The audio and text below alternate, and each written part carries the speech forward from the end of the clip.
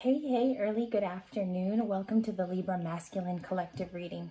So I'm going to do a three card split here real quick and we're going to get some messages on that split. I'm just going to pick up the last one is Arnold Schwarzenegger. Very appropriate for the Masculine Collective today. I, I almost laughed because I saw Speedos and I immediately thought you guys would laugh too. We have Arnold Schwarzenegger back in the 80s, maybe late 70s even and we're going to read it. It says, flex your assets, frugality and excess. The system needs a protein shakeup. A protein shakeup, my goodness gracious. So we have Arnold Schwarzenegger. You guys are probably laughing on the other end of this screen. It just be, it, it means to be the masculine within you, okay? Actually embrace that in this, uh, in this moment, in this time. I also want to add some of the females on the channel also can resonate with this reading just because you could take more from your masculine energy at times. And um, I'm just getting over the cold. I'm sorry if I sound really bad today. We're going to go with the next one too. I saw JP Morgan. Okay. Morgan and Stanley, if some of you are very financially uh, astute with the stock world too. JP Morgan, 2468, merges one conglomerate. Be an indispensable cash dispenser. Don't make the laws inspire the laws. Okay. So I think because you stand as the law and justice system, Libras, in all of our readings, especially since you are the scales as well, you are justice. Uh, JP Morgan is only saying in this card to make the laws. Uh, you're the one that actually states them out in the open. You set the standard at this time. Of course, before the solar eclipse, we have a lot of things that we need to understand and unwrap. It's actually a very cool time because you see return people too. There are interactions. We're going to get a cool tarot story out for you in the present today.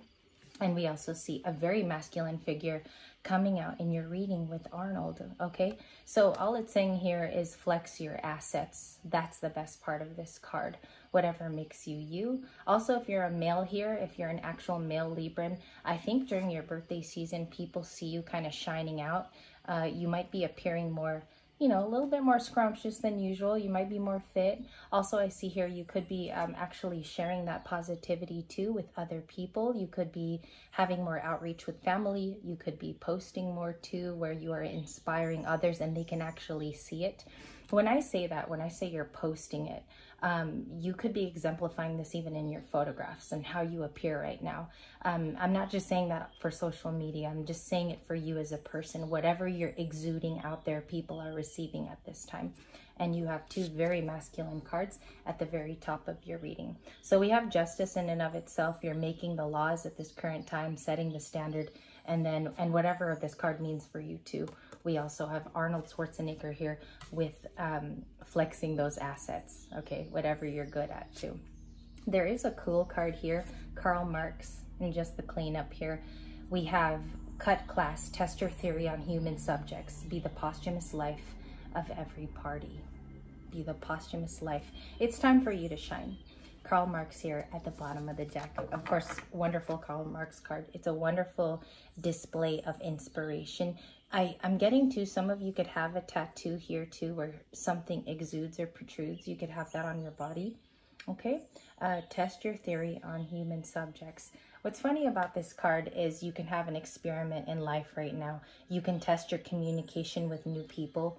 I also think they'll receive you well. I think you're very welcoming to start. And we have three gentlemen to start the masculine reading today. So that's kind of cool as we roll.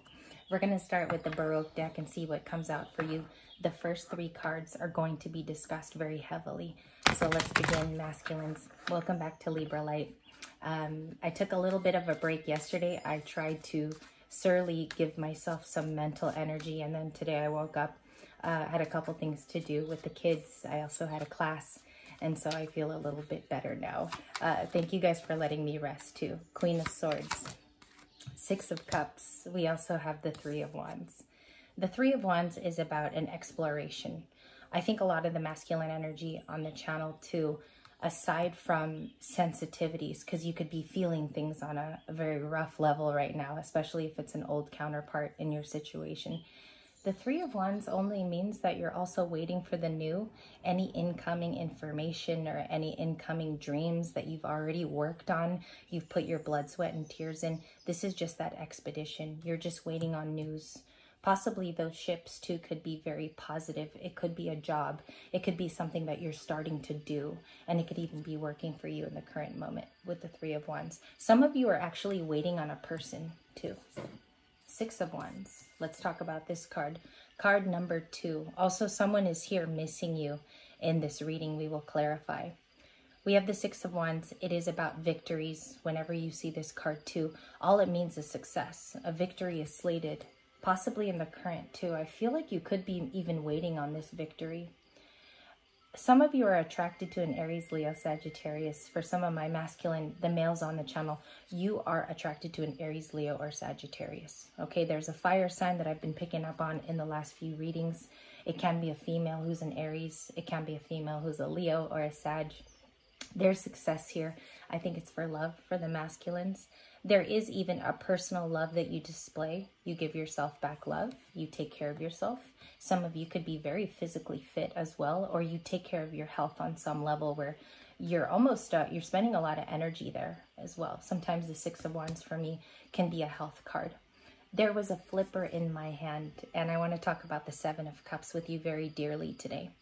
The Seven of Cups is your options, all right? I feel like even some of the females that resonate with male energy, this is the kind of card that you're looking forward to in your birthday month. You're drawing attention.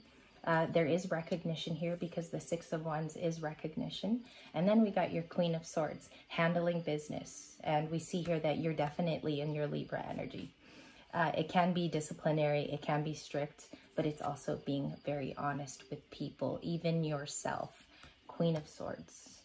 Let's look at that header card. What's the Queen of Swords, please? Four of Wands, okay? Anybody that's coming at you with an offer or they are looking for a commitment or they find you to be quite interesting or even alluring here, Libras, the Four of Wands is a very cool message because you stand up for commitment.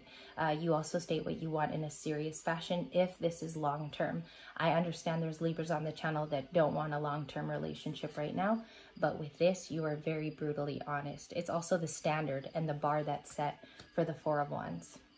And I see that right under your success. So there's something happening here, perhaps with a new relationship, because I'm picking up on a new relationship. What's the uh, Three of Wands, please? The Seven of Wands you're waiting on something, but you can be a bit guarded because of the past. And I just want to briefly touch on the past because I think the Seven of Wands is connected to it. There is a new Seven of Cups. So this seven is very different, your options and choices. But the Seven of Wands is about the past. It's about a past person. You don't want to let them in. Uh, I'm hearing here like they don't even deserve it. They don't deserve me. They don't deserve it. And I don't know who's saying that today in the reading because it came out really strong here in my intuitive nudges. And I listened to those first. So there's something else you're waiting for.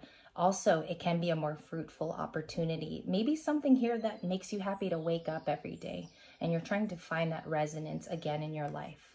So, masculines, there's a lot of exploration here, but there is a past person that you keep away from that. Okay, let's discover what that means.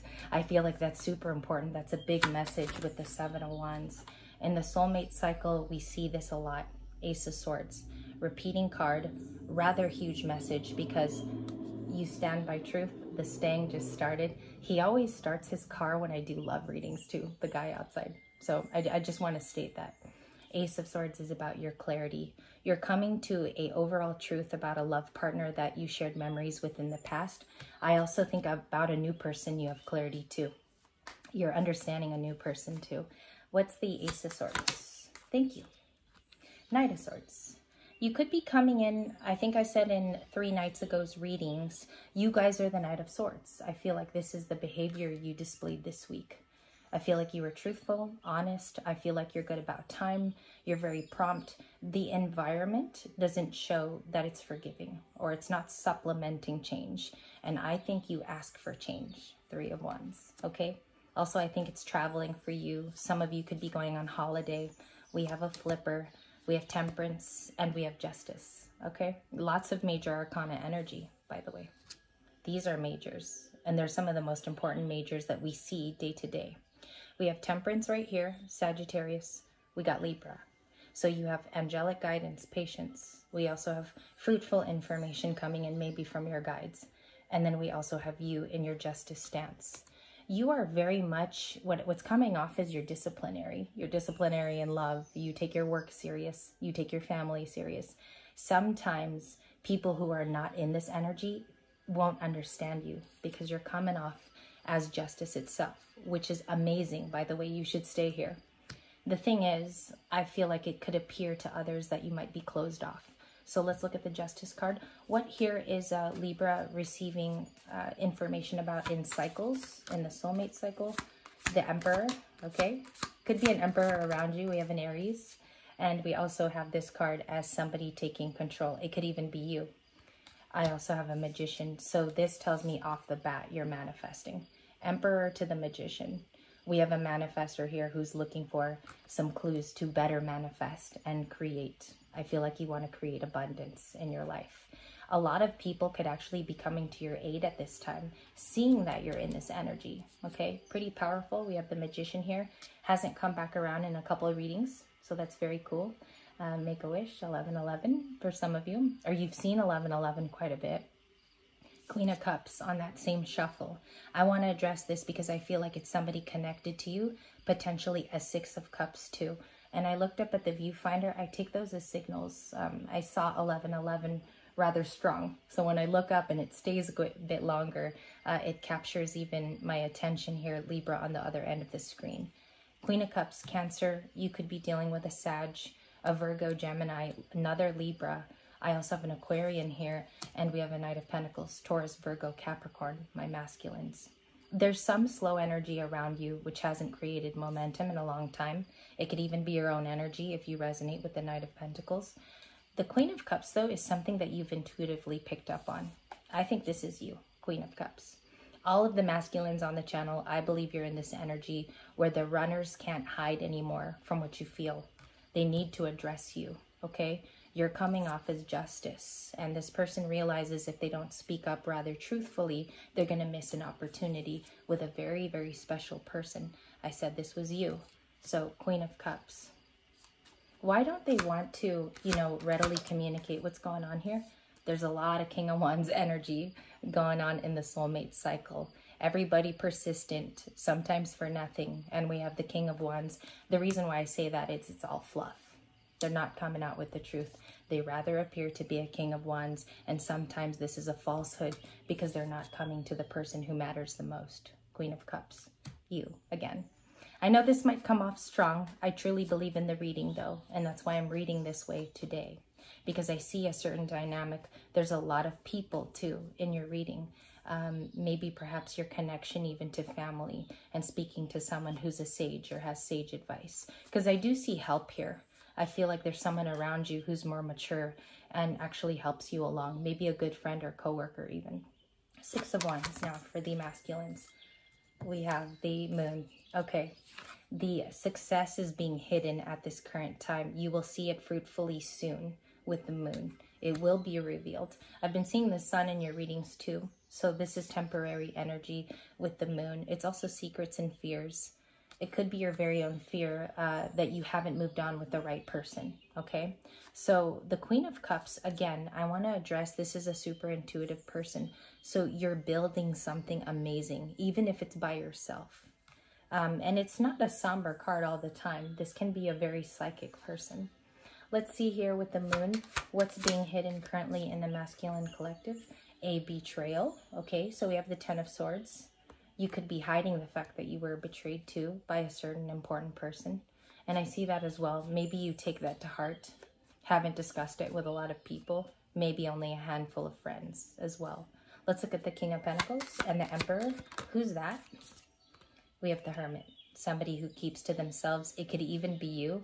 We have Virgo here and you're being enlightened during this solar eclipse. I think it's because you're gaining back all the justice um, and all the injustice that's happened around you, you're gaining perspective on that. You're gaining who's getting hit on um, and alerted about that. What I mean is they're gaining the um, almost relationship matters that occurred with you and they're getting it all back to them, okay? Just by you being you, if that makes sense, Libras. I feel like it's a return for keeping you in the dark for so long. Some people were not honest with you in your previous chapter, and uh, they're learning now with justice that it's coming to them quite fast. I'm speaking of a lot of runners too, who have hidden from a situation where they should have treated you a little bit more dearly. King of Wands too. This is um this is kind of like a masky card for me. This is how people want to appear in front of their friends and family. Um, especially if someone hasn't like not outrightly talked about you in public. I feel like they wear a mask and then they feel it when the lights close. There's justice that occurs in their life. I do think some of them owe you um, not an explanation. I feel like they owe you a talk. Something that you've deserved for quite a while. I feel like it's coming. It is very, very slow. The energy around you is as slow as a turtle in the soulmate cycle happening before the solar eclipse. In this reading, you have definite emperor energy. This could be you fueling success in your own personal life. And we have the Six of Wands. Huge card for you because this is a victory that's in the current. And it might even be something that you know personally. Six of Wands, one more card, actually two. I'm going to do two it's about love. You could be getting a new soulmate. Again, I feel like you kind of know them. I feel like there's connections here to somebody that you're spicing things up with. It can be a very, very good relationship for you, Libra, to learn from. And the Eight of Pentacles. Let's quickly talk about this. You're working on something behind the scenes. It's helpful to you. I feel like for some of you, it's even healing. I've been trying to pinpoint this energy for a while because I felt it for up to four weeks. It's something that you work on behind closed doors. You might even find that this is your new love, all right? And I'm talking about something with your hands. It's something that you do, okay? And we see that that could even be inviting some love energy into your life. It's attracting something for my masculines on the channel. Females, this reading can also be for you. So please take the messages that are appropriate for you. I want to thank you for your time. Uh, I might do a bonus just because this one was, it had a, a different thought to it, had a different feeling. So I might do a bonus. Um, we will see what that turns out to be. I want to leave you for this in the meantime. Uh, let me know if it resonated or even specific messages did. I love when you guys share. I will see you in the next video.